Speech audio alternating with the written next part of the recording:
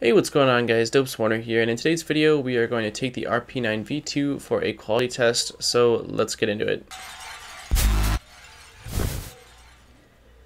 So I decided to print the Roman Colosseum. Um, it just, I happened to see it on Thingiverse and I thought it looked like a pretty awesome print and a pretty complicated print actually, um, with how kind of small this print would really be, um, with it being, as you can see here, it's basically, um, I want to say roughly 600 millimeters um, by maybe 400 millimeters, and uh, there's a lot of detail that goes into it. So um, I basically printed at 10% infill with a uh, only a 0.4 um, shell thickness, and I believe I printed it at 0.2 the uh, layer height as well as the original layer. And on this machine, I've been having the best luck at 205 uh, degrees Celsius for the extruder. Uh, it doesn't have a heated bed, so I can't adjust that. So 205 is what it is. It's all sliced up, so let's print this out.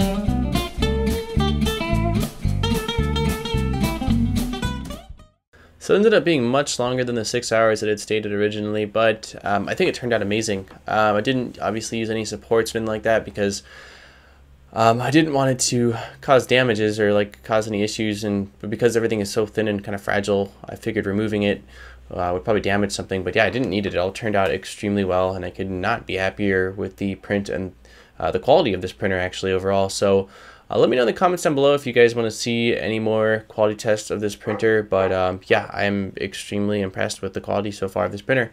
And uh, I will place a link in the description to where you can find out more about this printer if you would like to do so. And on that note, I will end the video. Dopesoner, thank you so much for watching. Don't forget to smack the like button and subscribe for more great videos. And I will see you in my next video. Peace, guys.